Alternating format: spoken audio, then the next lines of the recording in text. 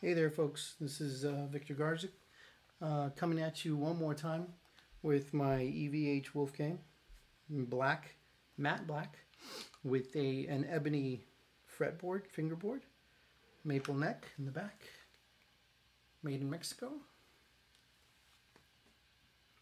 It's kind of fuzzy, blurry, but you can probably make it out. Um, and I'm going through my EVH uh, amplifier, uh, Lunchbox 2, concentric volume and gain. I, I, have to say it because I love that feature. I've been wanting it since it came out, and I had to wait a long time, but I finally got it. Uh, I also have a 50 watt version that I got before the Lunchbox, but it's too loud, so it's in the garage. It comes inside when it gets too hot outside, which summer's coming along and it's going to come back in. So today I just want to talk to you real quick about um, dive bombing with a tremolo. And I highly advise have fun with your tremolos if you have the double locking trem.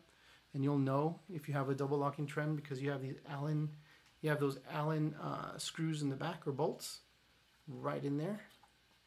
And an Allen wrench will fit in there. And then you have the locks up here in the nut so those locks combined with this these locks down here they lock the string in down here you have to cut the string off at the end and put the clean end here and then sometimes what I do, and you can see it here, is I'll just put the ball in through the other side. And there's just there's a way to do it. You just kind of measure each string out to about right here.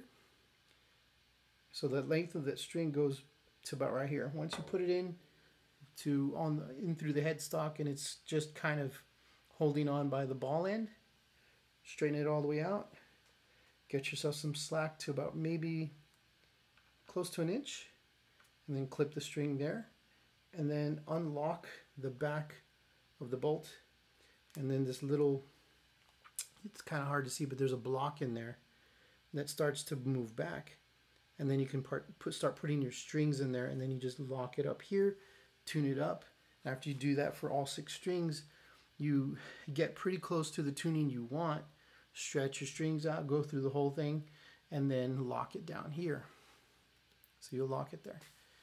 So what I, what I wanted to talk to you about was the, the dive bombing. And you only really want to do dive bombing after you've set up your guitar properly. Because if you don't, it's not going to stay in tune. It's going to keep going out of whack on you. And you're not going to have fun dive bombing. So yeah, you got to start off with setting up properly for sure. So here's here's how I like to dive bomb. I'll, again, I'm a big Eddie Van Halen fan, so I'll take like the B string and go. And that's it. It's really easy to do.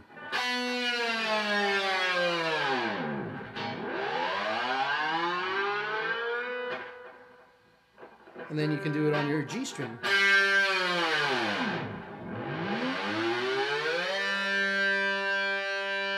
Again, because the kinds of pickups that we have here, and because I have the overdrive or the gain channel on, it's able to sustain that and it's just an amazing feeling to have when you can do stuff like that. That's why I started playing guitar when I was a little kid. Um, so do that for all your strings and just practicing practice how that sounds.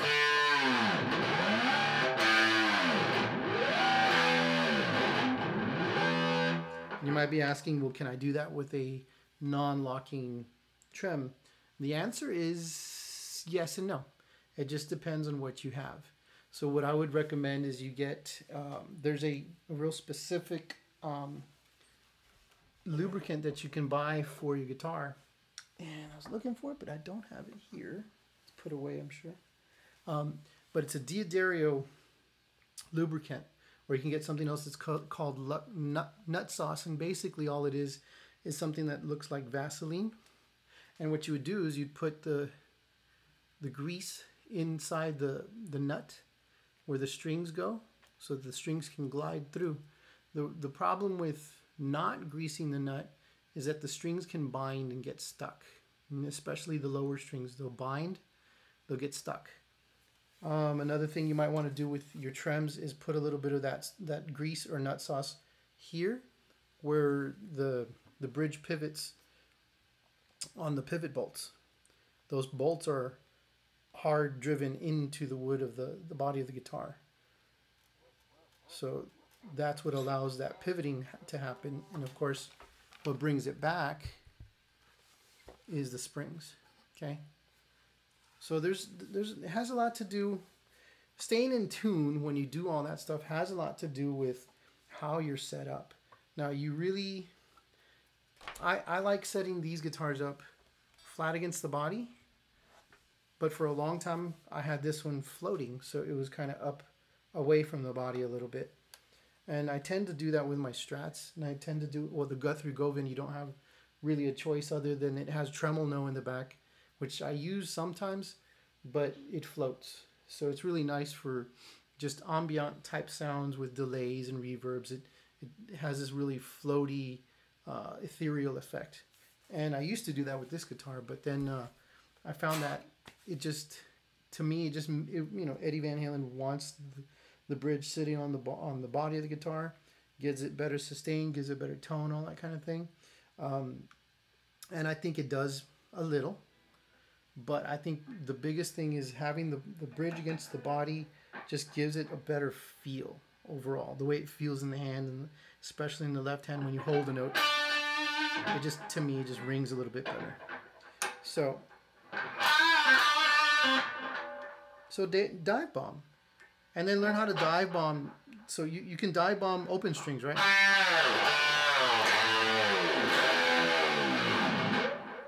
And so one of the first things I was I was doing is probably busting a lot of strings, but I was doing this kind of thing.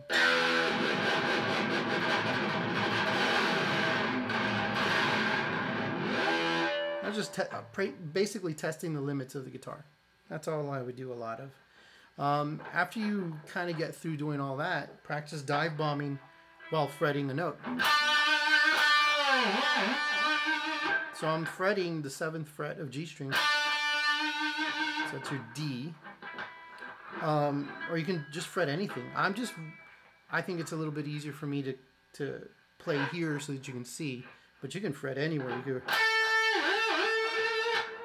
and then try bending the string and do that there too. And it sounds like you've got this really cool effect. It's just a fun thing to do. Uh, you can do that with your harmonics, which I showed you in the last video. So I lightly touched fifth fret of the G string. So you get this kind of a siren sound there. And that's a lot of fun. It annoys the heck out of, you know, mom and dad, or mostly mom, right? But you know, that's what pays the bills for a lot of these rock and rollers.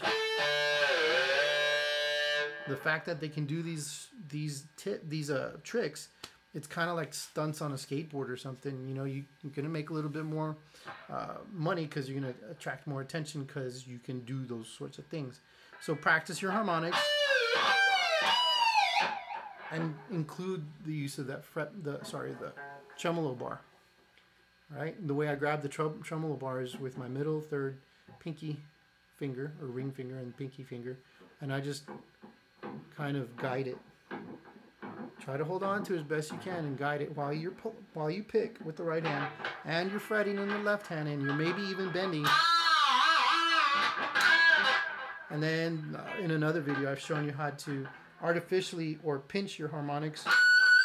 So you pinch it here in the right hand so you could bend that and bend down with the tremolo, bar. Again, the horse neigh thing. It's the kind of thing that Eddie Van Halen would do, right? Uh, Steve Vai does it. Uh, Joe Satriani does it. Um, a lot of those shred masters would do that kind of thing. Um, so have fun with your harmonics. Have fun with your pinch harmonics. Have fun with your tremolo bar now. Have fun bending those notes. Okay? But most of all, have fun with your guitar. We'll see you soon. Bye.